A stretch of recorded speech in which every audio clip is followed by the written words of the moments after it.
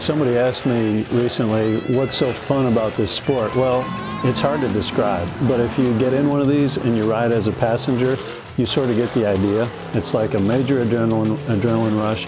It's the thrill of trying to get up something. You look at the hill and you're like, there's no way we're going up that. And you make it to the top. Or if you're not a passenger and you actually get to drive one, then it's like five times the thrill. So I, I, just can't describe it. You have to get in one. You come out and see us, and we'll put you in the driver's seat if you have enough guts for that, and you can try it for yourself. It's just amazing.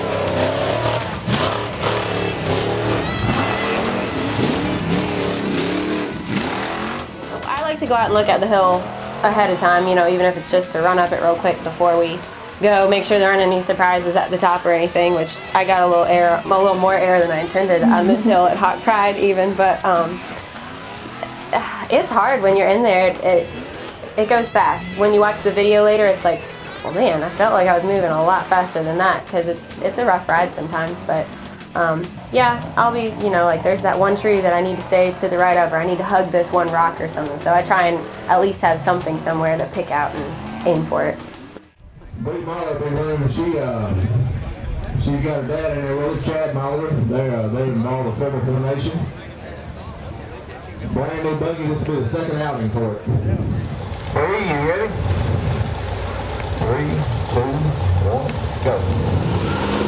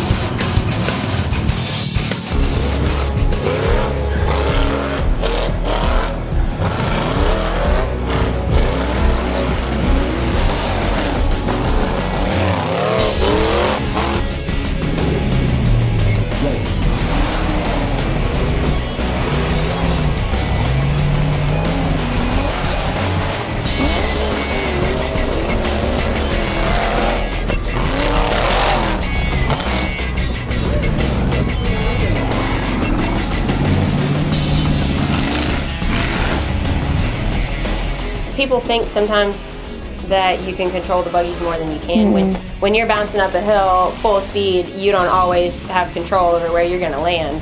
So, and especially with like throwing rocks and things too. I mean, Yeah, the rocks. Control over that. So, um, I've taken a few rocks. They are not good.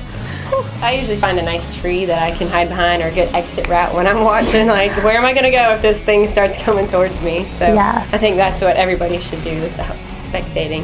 Well, it's so important, but we rely heavily on spectators to listen to the people, the experts, listen to the people putting it on. Get out of the way. Because really, when there's barriers put up, it really is for their safety. I mean, if we could put everybody on the, you know, right up in the action, Yeah. we would, because it's cool to experience it.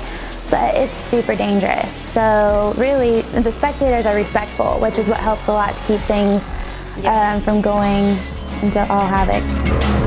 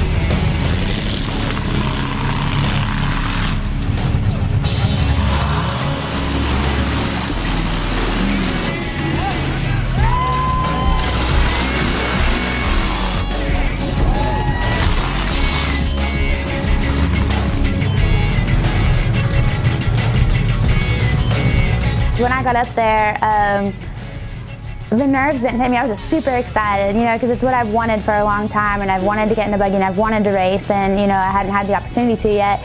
So I'm just super stoked until I get up to the line and I see Ty Turner, you know, counting down, and I'm like, oh shoot, this is about to get real.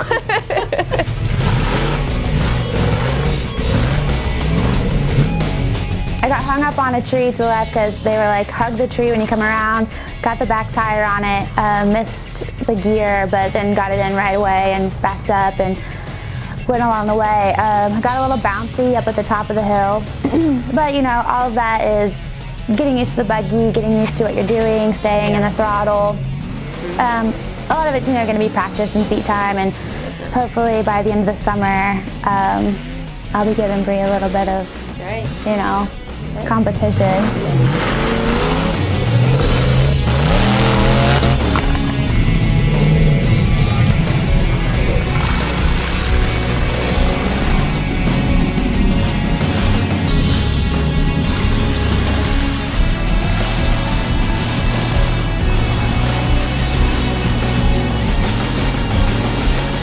That was some awesome action on the first hill, and now we're heading to The motocross, which I'm super excited about.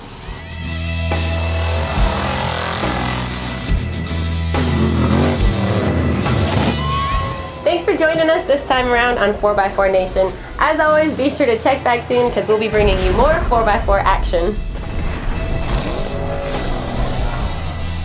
Head on over to our Facebook, give us a like, and then check out our website for more on this crazy rock bouncing world.